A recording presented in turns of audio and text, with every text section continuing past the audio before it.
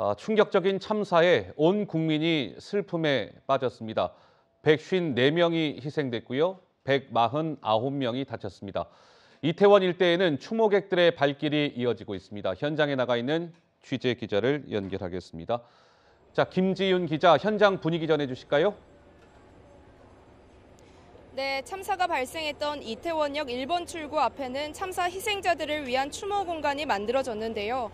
어제부터 시민들은 이곳을 찾아 애도를 표하고 있습니다. 시민들은 이곳에 헌화를 하거나 손글씨로 쓴 메모를 남기기도 하는데요.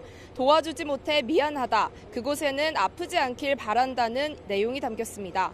3년 만에 한국을 찾았다가 사고 현장을 목격한 관광객도 밤새 잠을 이루지 못하고 아침 일찍 나왔다며 안타까운 마음을 전했습니다.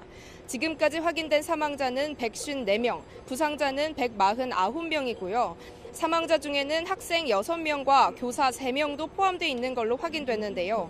중학생이 1명, 고등학생이 5명이었습니다. 외국인 사망자도 26명으로 이란과 중국, 러시아에 이어 미국과 일본에서도 2명씩 확인됐습니다.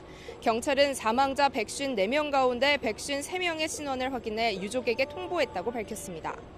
어제부터 국가 애도 기간이 선포된 가운데 서울광장과 녹삭평역 광장을 비롯해 전국 17개 시도에 분향소가 마련돼 일반 시민들의 조문을 받을 예정입니다. 참사 현장은 여전히 출입이 통제되고 있는데요. 경찰은 어제 사고 현장 인근 CCTV를 전부 확보해 사고 원인을 정 밀 조사하고 있습니다.